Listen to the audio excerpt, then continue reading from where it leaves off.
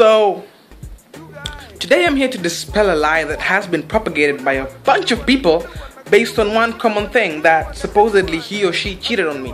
There is no such thing as cheating in a relationship, or there is no such thing as cheating, period. Example one, let me explain. Let me explain. Example one. If I am with you and I happen to have sex with someone else, that is not cheating.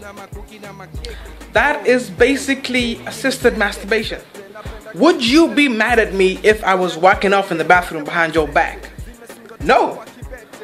So why is it that when I look for some help to do that same thing, you want to get mad at me? That makes no sense. Your only valid argument is why I didn't seek for your help in my whacking off. But that's not the point of this video. Point number two. If I am invested in you, some would go as far as using the word love. If I am in love with you and I fall in love with someone else, that too is not cheating. Basically, it's just a paradigm shift that I never told you about. And again, your only valid argument is that I did not tell you about the paradigm shift.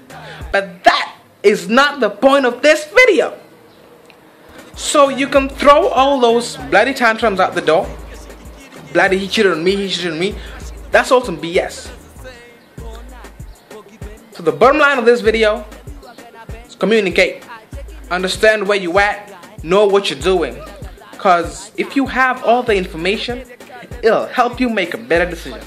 In other news, there is a series called Sense 8. Um, it's an epic story the major reason why I bring this to your attention is that a big part of it was shot in Kenya with Kenyan actors, Kenyan people.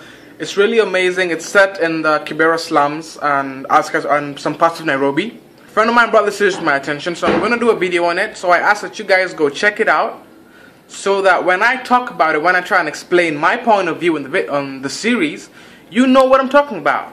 So go check it out. It's called Sense 8. I think it was done by NBC, if I'm mistaken. I may be wrong about that. I'm not sure. But check out the video. Sorry, check out the series. And until next video, peace people.